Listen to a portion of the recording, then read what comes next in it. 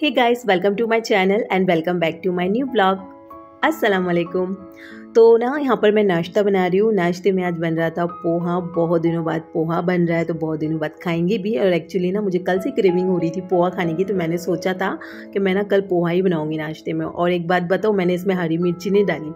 आ, मैंने इसमें ना कुटी हुई लाल मिर्ची डाली। एक्चुअल में हुआ ऐसा ना हरी मिर्ची ही डालने वाली थी लेकिन थी नहीं तो फिर मैंने सोचा चलिए अभी इतना तो कर दी है तो फिर लाल मिर्ची ही डाल देते हैं। लेकिन अच्छा बना था अच्छा ही लग रहा था लाल मिर्ची में। खैर नाश्ता वगैरह हो गया था हमारा और अभी जो है ना मैंने काबुली चना पानी में भिगो के रखा हुआ है। ये कल मेरे को बनाना है। कल नाश्ते में इंशाल्लाह कुछ बनाएँगे इससे। और अभी जो है ना, मैं नमक की बोतल जो है ना फिल करके रख रही हूँ। मैंने जब से ये नमक का बोतल छोटा बनाया है ना तो बार बार ख़त्म ही हो रहा है। तो मैं सोच रही हूँ ना कि एक ही बार बनाऊँ, बड़ा बनाऊँ। खैर, यहाँ पर जो है ना, मैं छोटी सी बॉटल भी फिल करके रख रही हूँ नमक। इस बॉटल में ना, मैंने थोड़ी से चावल डाले और फिर नमक डाल के और फिर इसको मैं पैक करके रख रही हूँ, ताकि नमक गीला ना हो, इसलिए चावल डाले हैं मैंने। आज मैं एक रेसिपी ट्राई करने वाली हूँ और आपसे शेयर कर रही हूँ। मैं फ़र्स्ट टाइम बना रही हूँ। एक्चुअली ये रेसिपी जो मैं बना रही हूँ ना, ये हमने जो है ना एक होटल में खाए थे।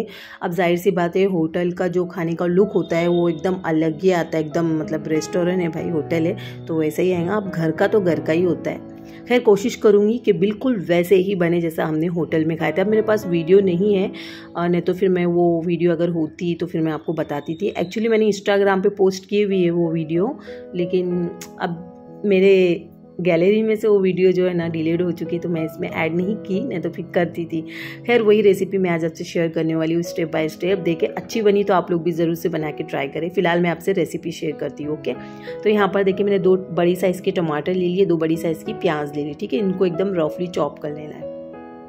अच्छा साथ ही साथ मैंने ना इसमें बादाम लिए, कुछ अच्छे खासे लिए होंगे, पंद्रह से सत्रह बादाम लिए। आप चाहो तो काजू ले ले, लेकिन मेरे पास बादाम है, मैंने बादाम ले लिए, काजू नहीं थे तो नहीं लिए। और मैंने अदरक ले लिया है, लहसन ले लिया है। क्वांटिटी आप अपने हिसाब से देख ले। मेज़रमेंट नहीं बता रही हूँ मैं, लेकिन हाँ टमाटर प्याज का मैंने बता दिया। तो बस यहाँ पर देखिए, मैंने टमाटर, प्याज ऐसे लंबे लंबे कट कर लिए। और यहाँ से ना मैं ज़रूरत की सारी चीज़ें निकाल लूँगी। तो अरे हाँ मैं क्या बना रही हूँ? नाम ही नहीं बताया ना मैंने। हाँ मैं बना रही थी चिकन, तंदूरी, खबसा, राइस विथ ग्रेवी। ओके? ये नाम है, बहुत लंबा चौड़ा नाम है, लेकिन है है कोई डिश है लेकिन हाँ।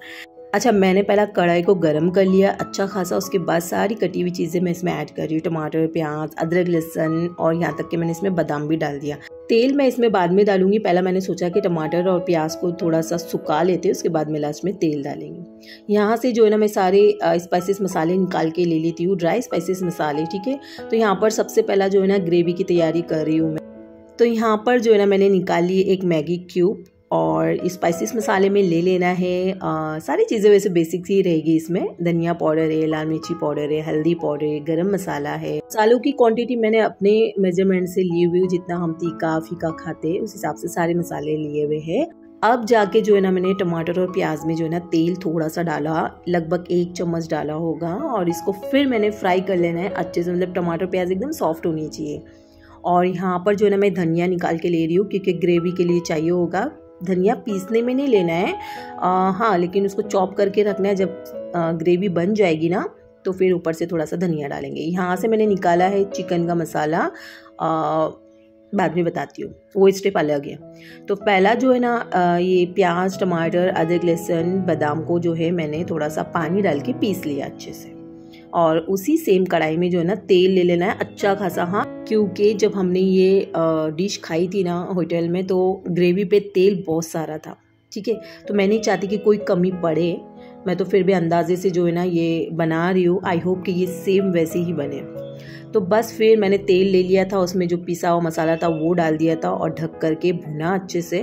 फिर इसमें मैंने मैगी क्यूब डाली और बताए हुए सारे मसाले इसमें ऐड किए, पाउडर मसाले। और इसको मैंने अभी मिक्स करना है बहुत अच्छे से और मसाले की बहुत अच्छे से मुझे भुनाई करनी है। ठीक है तो ग्रेवी का कलर है ना रेड होना चाहिए, ना कि ऑरेंज। तो फिर मैंने इसमें ना red tomato food colour add किया हुआ है, दो पिंच डाला होगा मैंने। अब रेस्टोरेंट जैसा बना रहे हैं तो फिर लग भी वैसे ही रहना चाहिए ना इसके लिए। तो बस ये चिकन के आ, कुछ बड़े बड़े पीसेस है ठीक है? हमने एक बड़ी मुर्गी में जो है ना आ, कितने छः पीस किए थे। चिकन को मैं बॉईल कर रही हूँ नमक और पानी के अंदर। हाफ़ बॉईल करना है ना कि फुल बॉईल ओके?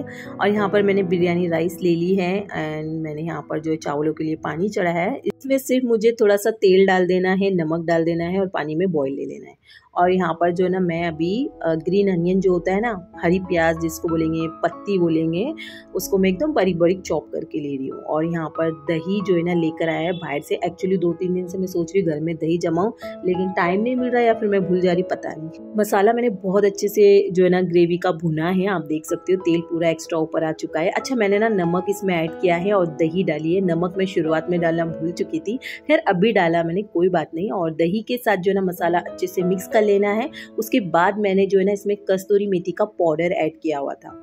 और फिर मैंने मसाले को पकने रखा हुआ है दोबारा और यहाँ पर जो है पानी में बॉईल आ गया था। चावल डाल दिए उसमें धो के और यहाँ पर चिकन भी जो है हाफ़ बॉईल हो चुका था। प्लेट इतनी गर्म थी कि मेरे पास टाइम भी नहीं था कि मैं कपड़ा हाथ में लूँ। खैर, यहाँ पर मैं देखे, मेरे काम आई देखे, आप गरम गरम चिकन हाथ से पकड़ने जा रही थी, पता नहीं क्या ऐसी घाई हो गई थी मेरे पीछे, जो इतनी जल्दबाजी में काम करने लगी थी। खैर मसाले में जो है ना मैंने ये बॉइल चिकन का पानी ऐड किया मैंने। ग्रेवी वैसे जो है ना ज़्यादा पतली नहीं होनी चाहिए मीडियम होनी चाहिए, ठीक है? और बस फिर टेस्ट करके देखा तो बहुत मज़े की लग रही थी ग्रेवी और मैंने बस ढक के पकने के लिए रखा है। और यहाँ पर जो है ना बॉयल चिकन में जो है ना मैंने चिकन तंदूरी मसाला डाला हुआ है और इसको मिक्स करके जो है ना फ़िलहाल साइड में रखा है मैंने। उसको बाद में चेलो फ्राई करेंगे, लेकिन यहाँ पर जो है ना मैं खबसा राइस बना रही हूँ, पहला ये देख ले। मैंने ना तेल और घी दोनों सेम क्वान्टिटी में ली थी, इसमें ना चिकन के दो मैगी क्यूब डाले और फिर इसमें नॉर्मल जो ज़ीरा होता है ना, वो डाला मैंने।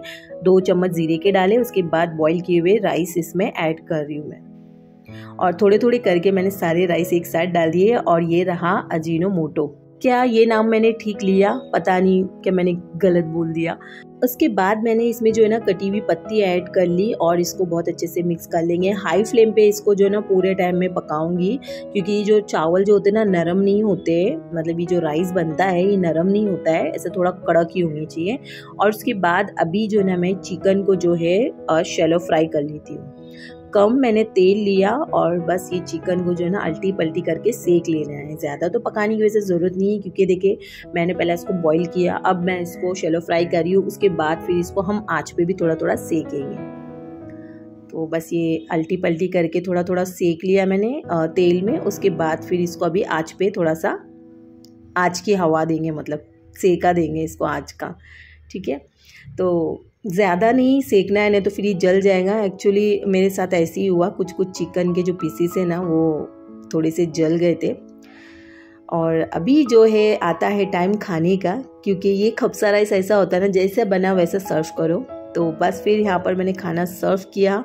अच्छा बना। हाँ मैं ये कहूँगी कि एकदम होटल जैसा परफेक्ट भी नहीं बना, लेकिन उससे कम भी नहीं बना। अच्छा ही बना कि भाई बंदा पेट भर के खा सकता, नाम नहीं रखेगा मतलब अच्छा बना है। चले, इस बहाने कुछ नया तो ट्राई करें, नहीं तो आए दिन वही वही रिपीट करो, दो दिन पहला खाए, फिर दो तीन दिन बाद वही चीज़ बनाओ। खैर कोशिश करते रहनी चाहिए नया नया रेसिपीज़ बनाए ट्राई करें, अपने घर वालों को खिलाए, खुद भी खाए, है ना? तो अभी जो है ना मैंने टीवी पे लगाया हुआ है सूर्य बकरा। मैं एक्चुअली ना ये सब सुबह ही सुनती हूँ, लेकिन आज सुबह मैंने लगाया नहीं, पता नहीं, आज बहुत गड़बड़ हो गई थी। एक्चुअली आज मशीन भी लगानी थी मुझे तो उस गड़बड़ में क्या हो गया ना कि मैंने वो लगाई ही नहीं। नहीं तो डेली का मेरा होता ही एक काम जैसा होता है ना तो वो भी मेरा एक काम ही कि नहीं मैं वो सुनूँ। लेकिन खैर मेरे को नागा नहीं करना था, इसके लिए मैंने क्या किया कि मेरा खाना पकाना होने के बाद फिर मैंने सोचा कि चले थोड़ी बहुत सफ़ाई बाकी है तो मैं टी वी ज़रा सूर्य बकरा लगा लेती हूँ और अपने काम भी चालू रहेंगे। तो किचन में क्या ना कि मुझे आवाज़ आती है मैं सुनती रहती हूँ। हाँ ये बात अलग है कि भाई सुनना ज़रूरी है उससे कई ज़्यादा पढ़ना भी ज़रूरी है। ठीक है तो मैं पढ़ती भी हूँ और सुनती भी हूँ। तो बस फिर यहाँ पर जो है ना मैं अपनी किचन की जो डोर्स लगी हुई थी ना ये सब मैंने क्लीन करके ले ली। ये सब काम है मेरे ना सुबह के होते हैं एक्चुअली लेकिन ये पकाने के चक्कर में थी ना आज मैं। आ, तो बस फिर मेरे को कोई रिक्स नहीं लेना था पकाने में। मैं बोली आड़ा टेढ़ा ना बन जाए। इसके लिए काम वाम मैंने सब छोड़ दिए थे। मैंने डायरेक्ट कुकिंग करने के लिए ही ले लिया था। फिर क्या हुआ? खाना अच्छा बना। तो फिर मैंने सोचा, चलिए अभी बाकी के काम वाम कर लेते हैं। तो वही मेरी क्लीन अप चालू थी और चूड़ा वगैरह ना दो तीन दिन से ला के रखा हुआ था। ऐसे ही पैकेट खोल रहे और ले रहे, खा रहे। तो आप देख सकते हो आधे आधे ही पैकेट है चूड़े, वेफर के। तो वही मैं अभी सारी चीज़ें जो है ना कंटेनर में डाल के रख रही थी। एक तो अभी बारिश है और ये चीज़ें नरम ना हो जाए। वैसे तो दो दिन से पड़े थे, तब नहीं सोच अभी अभी सोच रही हूँ कि भाई नरम हो जाएँगे। वो भी तब सोच रही हूँ जब ये ख़त्म होने को। और मेरी यूट्यूब की प्यारी प्यारी ख़वातीन आई होप कि आप सबने मेरा फुल व्लॉग वॉच किया होगा यहाँ तक के। Thank you so much and शुक्रिया। इन बहुत जल्द मिलेंगे एक नई वीडियो के साथ। अल्लाह हाफिज़